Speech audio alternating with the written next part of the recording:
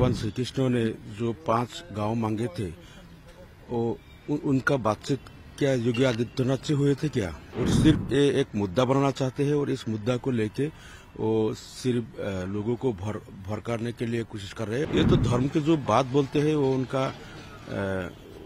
उन, उनका एक चाल है। मेरे हिसाब से योगी आदित्यनाथ से ये भी पूछना चाहिए कि भगवान श्री कृष्ण ने कितने करोड़ रुपए को घोटाला करने के लिए तुमको इजाज़त दिया था।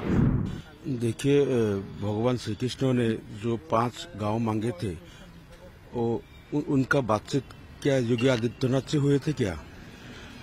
योगी आदित्यनाथ से उनका शायद बातचीत अगर हुई थी और तब जब भगवान श्री कृष्ण ने पाँच गाँव मांगा था तो योगी आदित्यनाथ मौजूद थे वहाँ वह उनसे मांगे थे और उनको डिसाइड करने के लिए बोला था कि आप ही डिसाइड कीजिए, मुझे जो पाँच गाँव चाहिए तो इसमें तीन गाँव आप दे दीजिए और आप ही सिलेक्ट कीजिए।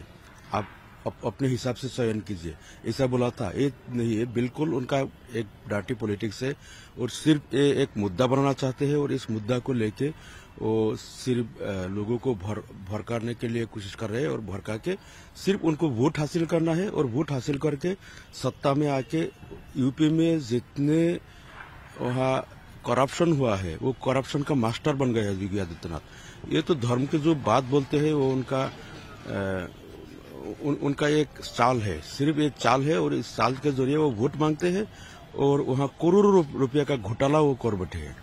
तो एक घोटाला बनने के लिए श्री कृष्ण ने उनको बोला था कि तुम इस तरह एक बार सीएम बन जाओ और हज़ार हज़ार करोड़ रुपया के घोटाला करो घोटाला करके अपने कमाओ और अपने लोगों को तुम कमाओ। ये तो नहीं बोला था।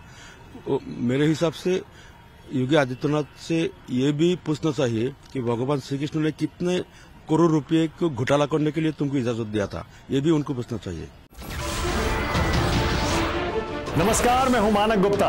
अगर आपको हमारा ये वीडियो पसंद आया हो तो इसे लाइक और शेयर ज़रूर करें।